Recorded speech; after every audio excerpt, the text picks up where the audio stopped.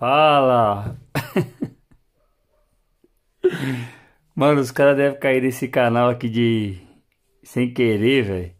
Aí fala, meu Deus, onde eu vim cair, velho? Tava lá no canal dos youtubers mastodônticos. A melhor imagem, os caras bonzinhos tal, com extensão, tudo e. Cai no canal desse dá ter vergonha, velho. Mas é isso aí, é o que tem pra hoje, mano. Unbox Meizu 16S Pro, velho. Certo? O ruim é que é a versão chinesa, cara. Já tô triste. Legal, né, mano? Esse esquema da caixa aí, olha. Nossa, que legal, né? O aparelho tá aqui. Tem alguma coisa aqui dentro, vamos ver. Pessoal, fiquei triste, perdi a chavinha, mano. Tá vendo aqui, ó? A chavinha que vem para abrir a... Tudo bem que você pode usar até uma agulha. Você pode usar um catéter. Você pode usar um scalp. É parte da, da enfermagem. Você pode usar para abrir, mas tem que ter a chavinha, né? Mas é isso aí. Perdi. Pois eu acho. Pessoal, que eu fiquei chateado é que esse aparelho aqui é um top de linha da Meizu, sabe? E ele bate de frente com todos os tops de linha.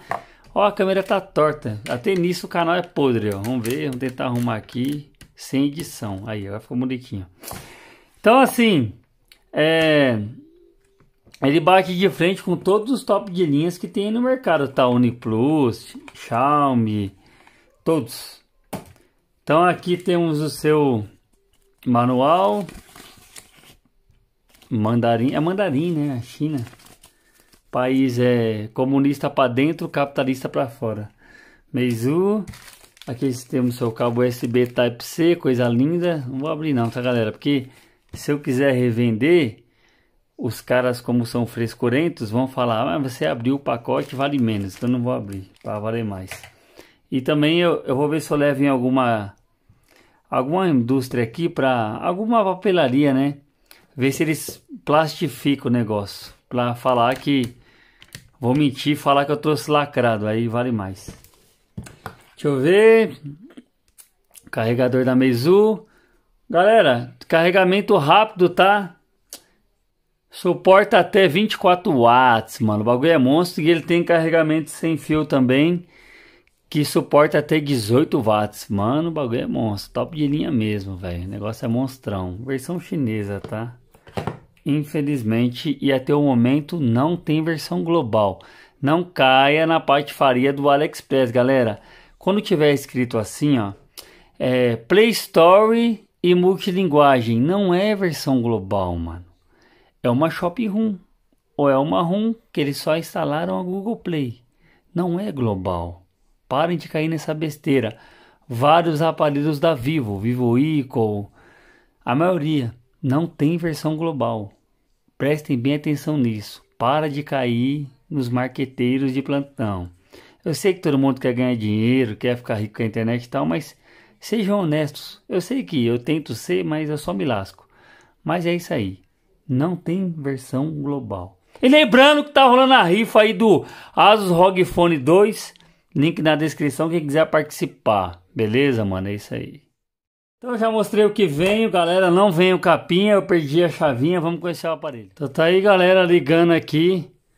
Vai parecer que eu estou usando ele pela primeira vez, mas não, estou metendo louco igual o padrão do YouTube estou disfarçando, mas eu já usei ele algumas vezes eu tenho uma certa noção do que é o aparelho, tá? Nossa, que rápido, né. O aparelho é lindo, hein, galera? O que eu gostei, mano, é que, tipo assim, dos tops de linha gigante, ele é o menor, né? Então ele é um top de linha, deixa eu baixar o brilho aqui. Ele é um top de linha com um padrão me menor, né, galera? Dos que tem aí no mercado, tal, bem bacana, né? Três câmeras traseiras, principal sensor Sony a padrão, IMX 586, tal, bacana, bem bonito, né? Pegada muito boa. Sua câmera frontal principal 20 megapixels, tanto frontal quanto traseira, o seu sensor Sony espetacular, da hora demais. Aqui nós temos a Flame, uma ROM bem bonita, bem customizada, infelizmente essa aqui é a versão chinesa, tá? E, infelizmente, galera, só possui banda 3, tá? A Meizu ela permite você mudar o software chinês para o software global. Mas o que vocês têm que entender, galera, é que mesmo você mudando para a versão global, vai continuar a banda 3. Não vai fazer milagre e colocar a banda 7, não, vai continuar a banda 3, tá? Eu poderia muito bem estar tá aqui fazendo um marketing enganando, não, funciona tudo, é o melhor do mundo e tal, não. Tem que falar a verdade, né, mano? Eu sei que vão me xingar, vão sair do canal, não vão comprar nada tal, mas tem que falar a verdade. E o Xiaomi K20 Pro, eu falo a mesma coisa. O Vivo, mesma coisa. O Huawei Mate 30 Pro. Até apareceu um cara aí no canal. Pô, mano, onde que não tem versão global? Eu falei, então me mostra. Versão global até o momento do Huawei não tem. Não tem. E vários aparelhos da Huawei não tem versão global. Tudo China. Banda 3, banda 7 no máximo. Banda 28 não. E sem Google Play e sem multilinguagem. É foda. Mas é isso aí, acredita no que vocês quiserem. O marketing é o que comanda a cena. Tá? Então tá aí.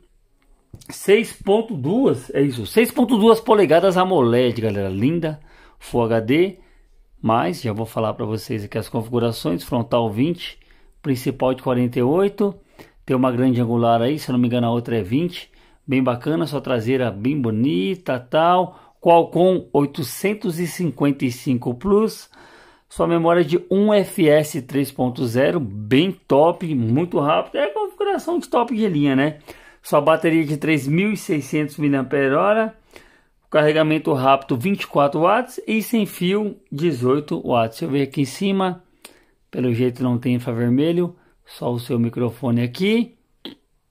Aqui na lateral não tem nada, meu Deus, nem a gavetinha, não tem nada, mano. USB Type-C, o microfone, a gavetinha ali, não tem expansão de memória. Essa versão aqui é de 8 de RAM e 128, é isso? Se eu não estiver louco, deixa eu ver aqui, 8 de RAM e 128, isso mesmo, galera. O destaque dele, galera, alto-falante duplo, estéreo, um aqui embaixo, um aqui em cima. Muito bom som, viu? Já testei e falo pra vocês. Botão de volume, botão de ligar e compacto, né? Bem bacana, 6.2 polegadas, as bordas finíssimas tal. Gostei. Então é isso aí, galera. Dá para traduzir a ROM pelo CMD, tá? Mas não tem ROM global e só tem banda 3, infelizmente, tá? Então já passei as configurações para vocês. Eu vou colocar aqui a qualidade de som dele, que eu gostei muito. Vou colocar um vídeo para vocês verem a qualidade da tela. Vou colocar algumas fotos que eu tirei, tá? Só para vocês terem uma noção da primeira impressão e um joguinho. E já era. Esse é um unboxing primeiras impressões horrível. Então vamos embora.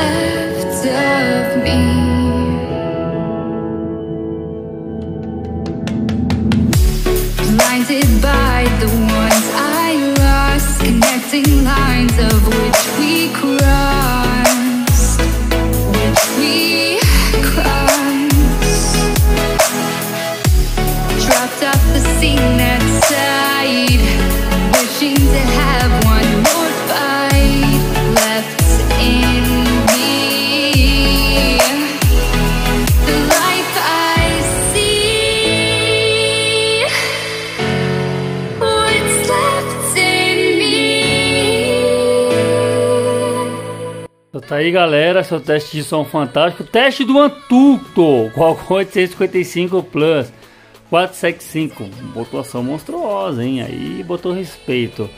Essa pontuação, galera, ele, ele é muito frio, viu? Vou falar pra vocês. O negócio aqui dificilmente esquenta. Não sei se ele tem resfriamento líquido, eu creio que não, tá? Mas tá aí, sua pontuação, o Nex dominando ali. Mas ali o ROG Phone bateu uma pontuação maior. O Vivo Eco Pro 5G, versão chinesa, não tem global. Para de mentir aí que não tem global.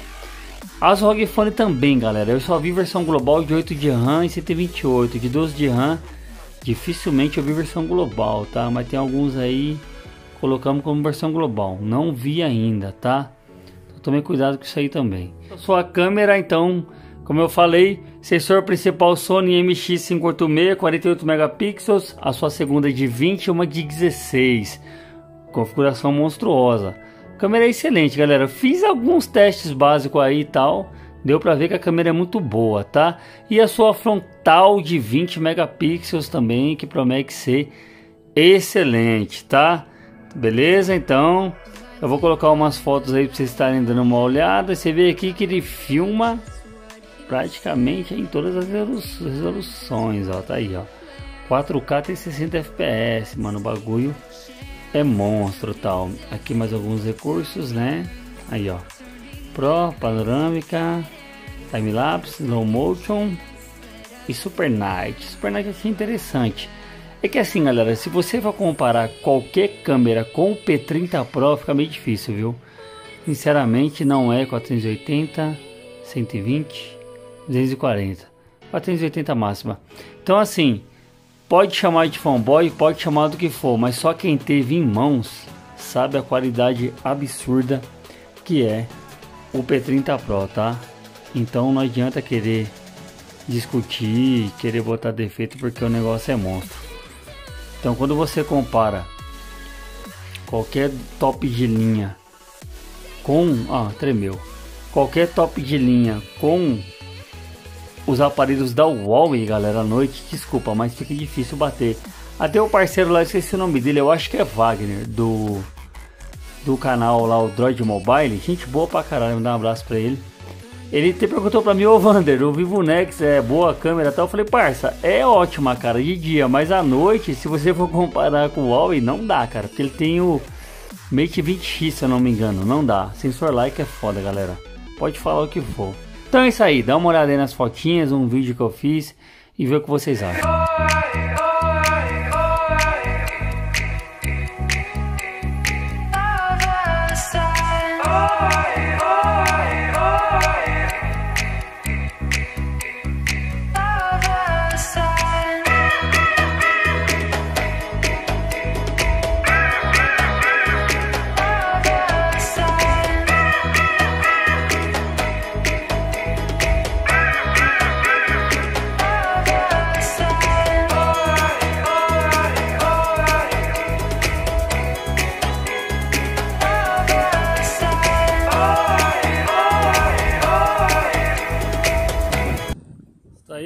Fazer um vídeo aqui 4K 60 FPS Meizu Pô, tô todo top de linha que eu tô pegando, o foco tá bom, velho. Então tá aí, tempo tá legal, um ventinho da hora. Aquele, aquele testinho básico de sempre, galera. Só pra gente ter a primeira impressão, né? De como o aparelho tá. Show, hein? Foco dele, do Vivo, do Asus. Todos que eu testei aí até o momento, ó. Show de bola, estão de parabéns. Show de bola. Parece que vai chover, hein, galera? Falou. Mano, eu gostei desse Meizu aqui, que ele é mais compacto, velho. 6.2, né? Só que as bordas, as bordas finíssimas. Ele é pequenininho, mano. É da hora. Dos top de linha que tem aí gigantão, ele é o menorzinho. Eu gostei, velho. Achei bacana. Achei bem interessante. Tem o seu zoom aqui, né? Sem perda. Zoom de 2, zoom de 3. Gostei, então é isso aí.